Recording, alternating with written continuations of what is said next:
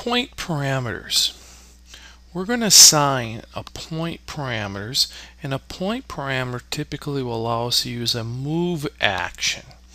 And so it allows us to create that action after the fact that we have the uh, the parameter in there.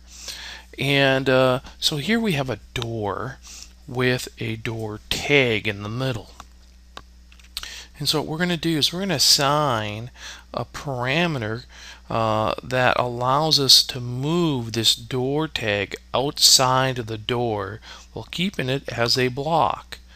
So the first thing we're going to do is we're going to open the block editor.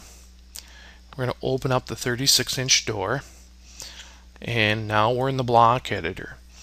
We're going to come over to our block authoring uh, palette and we're going to go to our point parameter, making sure that our parameter tab is selected. I select the point parameter. It says specify the parameter location. Well, what I want to do is I want to pick the center of the circle. I'm going to do a shift right click and choose my center object snap. And then I'll pick.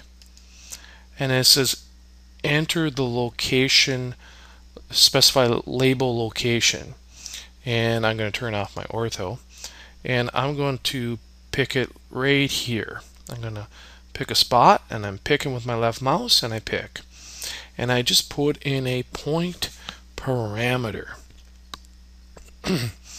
now in our point parameter um, we have some options that we can do and uh,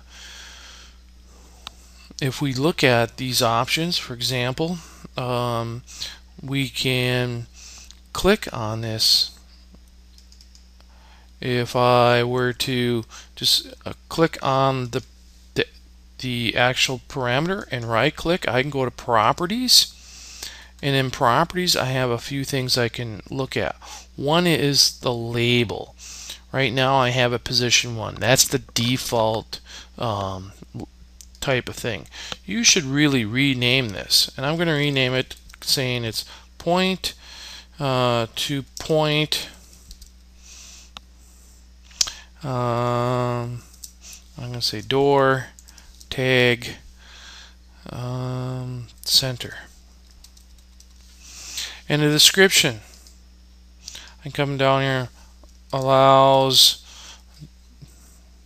door tag to be moved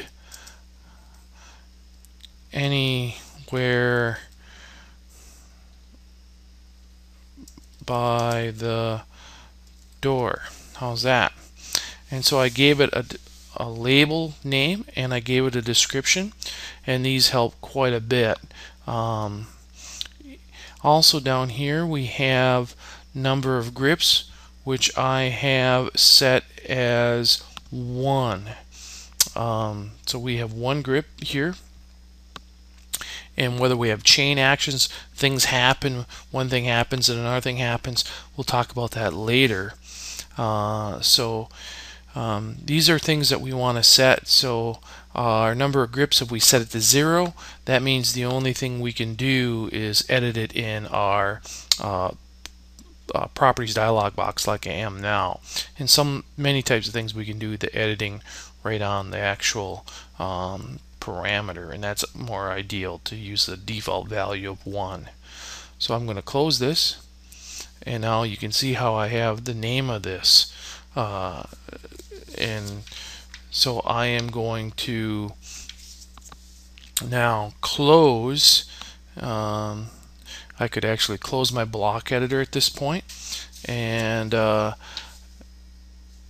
and I can go on from there.